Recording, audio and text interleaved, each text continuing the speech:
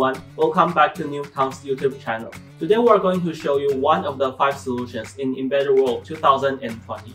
By watching this video, you don't need to stop by our booth in Germany, and you can still learn our latest products and our latest reference applications. Today we are very happy to have our product manager, Chris. Hello, I'm Chris. Okay, Chris. So can you show us uh, what's the purpose of this application and what's the per uh, what does this uh, automotive data logger do? Okay, today we would like to introduce OBD onboard diagnostic. OBD consists of NUC131U microcontroller and the N9H30 microprocessor. NUC131U provide a CAN bus to log OBD data such as uh, vehicle velocity, engine speed, engine temperature and uh, indoor temperature and so on. NUC131U will log loss data and uh, transmit this data to N9H30 by UART. And N9H30 will display loss information on our 7-inch uh, TFT LCD panel. Thank you, Chris. Uh, and I have a question. So uh, we, uh, we all know that Nuvoton has a lot of products and uh, rich portfolios. But well, why did we choose the NUC131U for this application?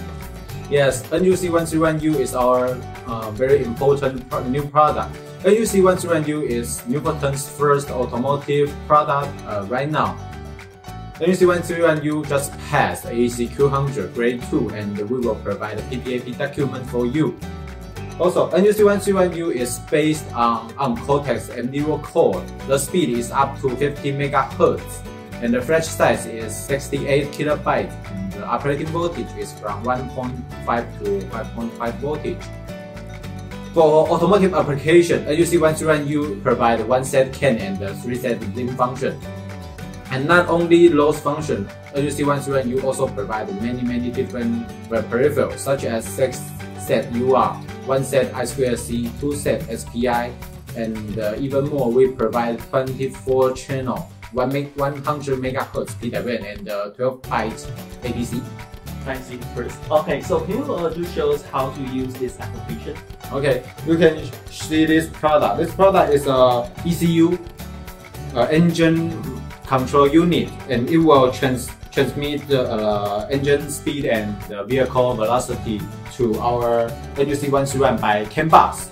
And our NUC131 will convert those raw data to UART and transmit it this data to N9H30.